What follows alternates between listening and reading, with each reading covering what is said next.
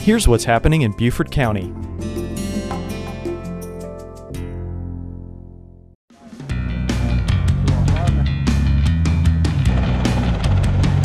Well, based on the layout of Beaufort County, we're always looking for ways to improve our rescue capabilities and operations.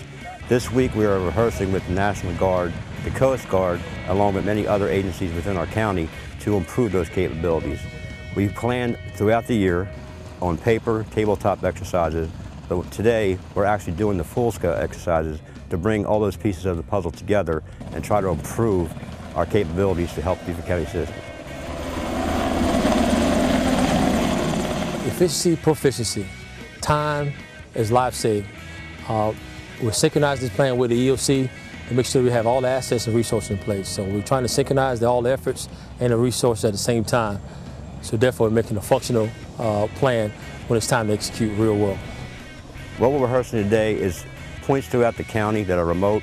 We are picking up simulated victims, putting them on smaller helicopters and bring them, bringing them right to this location.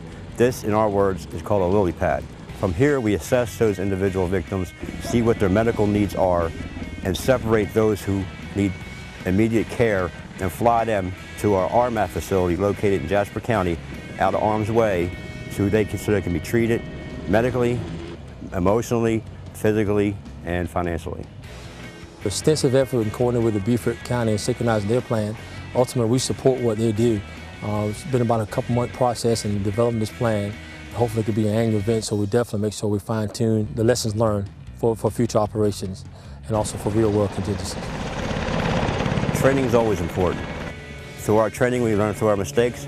Through our training, we, we learn how we can improve things. Since Beaufort County is so vast and surrounded by much water, we have to be prepared for those people who are at remote locations to be able to reach them and bring them to locations such as this to able to assist them medically. Other counties are actually starting to emulate our plan and they're, they're trying to bring it on now since we did it last year to work so well. This year we're trying to expand on it and make it even better. That's what's happening in Beaufort County.